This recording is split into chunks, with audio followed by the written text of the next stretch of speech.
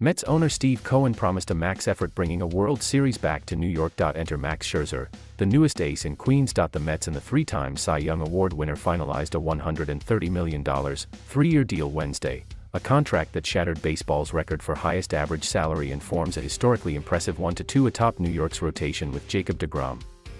The 37-year-old Scherzer will earn $43.33 million per year, 20% higher than the previous mark, the $36 million Yankees pitcher Gerrit Cole is averaging in his $324 million, nine-year contract signed prior to the 2020 season. Scherzer has the right to opt out after the 2023 season and become a free agent again. The eight-time All-Star was 15-4 with a 2.46 ERA last season with the Washington Nationals and Los Angeles Dodgers, who acquired him on July 30th. He didn't lose a game after May 30th and was especially dominant in his first nine starts with LA, going 7-0 with an 0.78 ERA. He ran out of steam following heavy usage in the postseason, though, unable to start Game 6 of the NL Championship Series against Atlanta as planned due to arm fatigue. The Dodgers lost that game to end the series.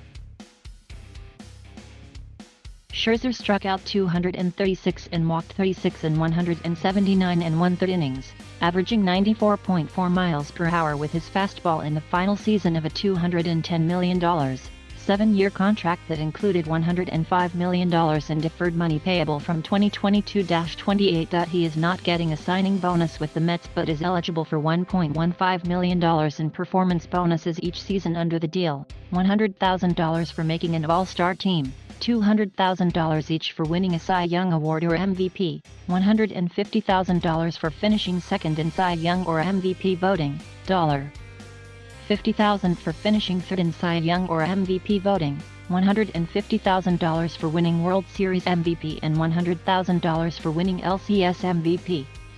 The deal will raise his career earnings to at least $370 million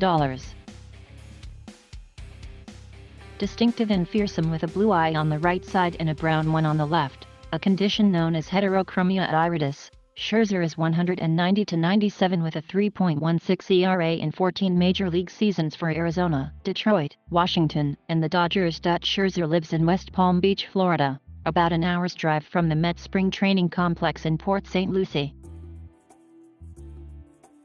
He won his first Cy Young in 2013 with Detroit, then consecutive Best Pitcher awards in 2016 and 17 with Washington. He finished third in this year's NL balloting behind Milwaukee's Corbin Burnes and Philadelphia's Zack Wheeler. DeGrom won the Cy Young Award in 2018 and 19, and Scherzer will be the seventh multi-time Cy Young winner to pitch for the Mets. Also Tom Glavine, Pedro Martinez, Bret Saberhagen, Johan Santana, and Tom Seaver. That's two more than any other franchise, according to the Elias Sports Bureau. Scherzer and DeGrom will be the seventh pair of teammates to pitch together after winning multiple Cy Youngs. Scherzer did it with Clayton Kershaw last season, and the Mets had the previous two pairings with Martinez Santana in 2008 and Martinez Glavine from 2005-07. Scherzer has thrown two no-hitters, both in 2015, and one of them came against the Mets at Citi Field. As baseball heads to a likely lockout when the collective bargaining agreement expires Wednesday night, Scherzer is a member of the union's eight-player executive subcommittee. His agreement, like Cole's, was negotiated by agent Scott Boras.